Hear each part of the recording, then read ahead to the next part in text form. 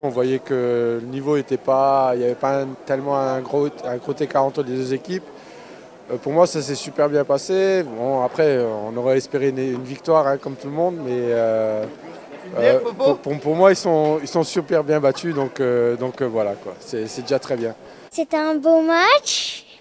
Bah, il y avait beaucoup d'actions des deux, des deux côtés, un peu plus vers Valenciennes. Mais bon, on a essayé de remonter euh, quand on s'est pris le premier but, mais on n'a pas réussi. Euh, le deuxième but, après, ben, on s'est tout de suite dit qu'on n'arriverait plus à remonter. On avait beaucoup d'actions, mais on ne les a pas mises.